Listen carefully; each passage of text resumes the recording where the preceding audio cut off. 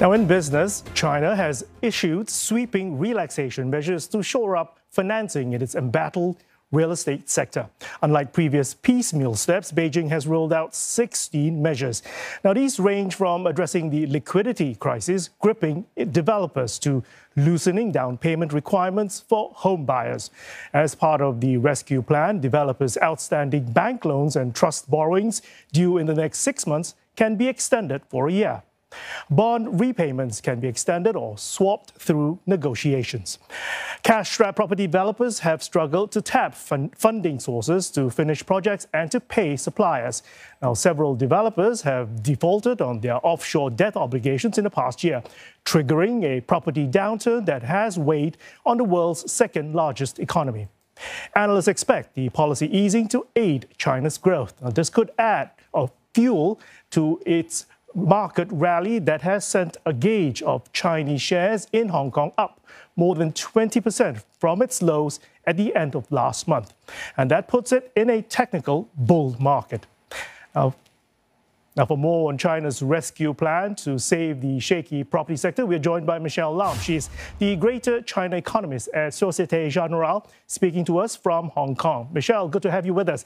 Is this a turning point for the mainland property market?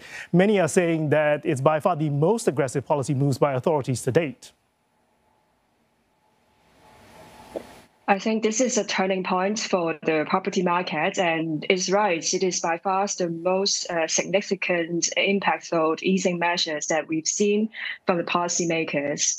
I think the most significant impact coming from this uh, 16 point measures is that the developers' outstanding bank loans uh, will be extended uh, for a year, and the caps on the bank lending to the developers uh, will also be temporarily eased. And that means that uh, the general funding conditions for the, for the property developers will be supported uh, quite a lot. And I think this is very important to resolve uh, the situation that right now in China, there are a lot of projects uh, in the construction space that are st- stalled, and that has really affected the confidence of the home buyers when they purchase properties. So if this uh, this funding situation is being relieved, then I think some of the uh, home buying demand could come back gradually.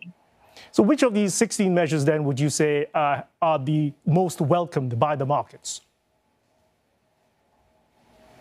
Um, well, so the most the most significant one is the one that uh, the bank loans will be extended for a year uh, for those who are due within the next six months, and then the, the other one I would say is the easing on the uh, the caps the, on the bank lending to the developers. And this is, I think, resolving the funding situation for the developers are utmost important. And uh, on the other hand, though, um, the measures also mentioned that uh, the down payment ratios uh, will be lowered, for example, to support uh, the local uh, housing demand. I think we've actually seen a lot of them being released anyway.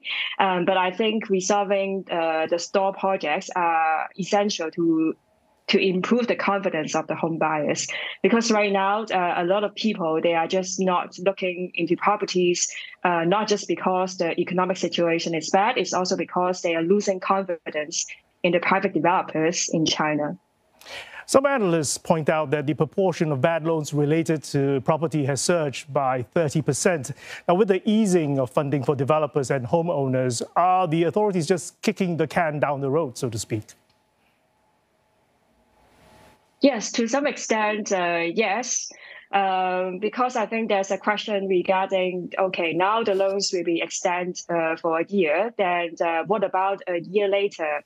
I think the most crucial aspect is that we need to see some stabilization in the housing demand, and this is really key to the long-term growth of the real estate companies. So right now, the policymakers are, uh, are stepping up to improve the liquidity situation. But for us to really see a turnaround in the developer situation, we need uh, housing sales to improve, which, by the way, I think uh, housing sales uh, should see some rebound after collapsing by the, more than 30% this year.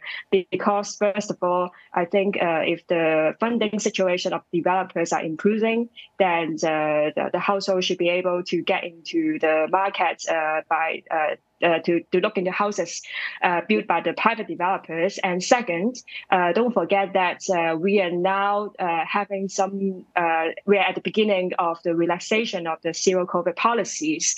I think over the coming months, because we know that Omicron is very vicious in the winter times, so I think the situation is still going to be quite difficult regarding the COVID COVID pandemic.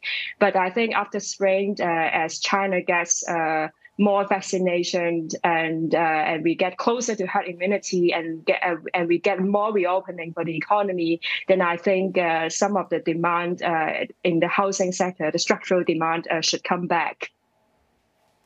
Okay.